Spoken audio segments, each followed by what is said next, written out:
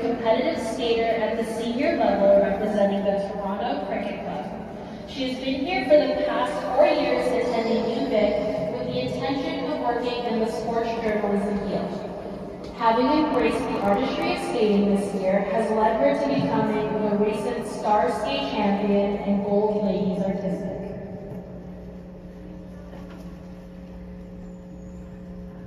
Is it getting better?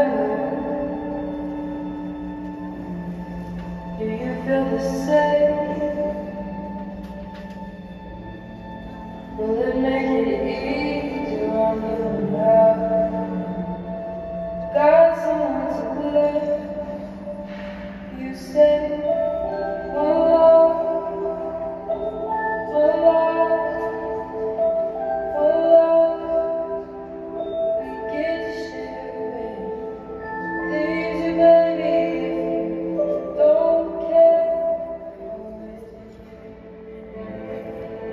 I disappoint